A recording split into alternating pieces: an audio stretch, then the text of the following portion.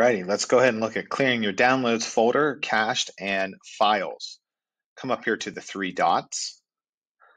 Come down to settings.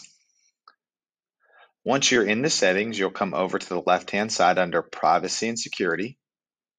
And then we're going to go and select that top option. From the top option, we will to go ahead and change to advanced. And you can see here that my time range has become all time.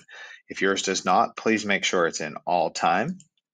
You want to go ahead and clear your download history, your cookies, your cached images and files, as well as scroll all the way to the bottom of this list under hosted app data.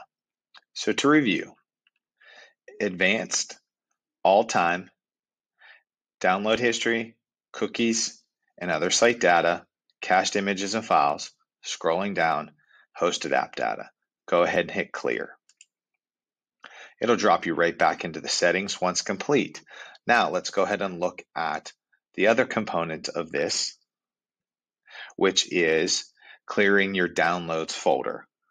So click on the circle in the launcher down here and go to the Files application.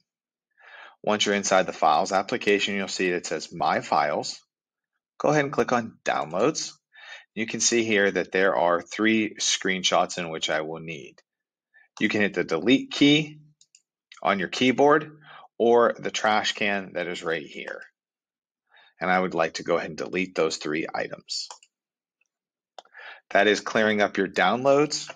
It is not clearing something up from your drive. These are stored within the Chromebook device itself. So if you're running out of storage, this may be a good place to look to start to clear through up, clear things up midway through the year.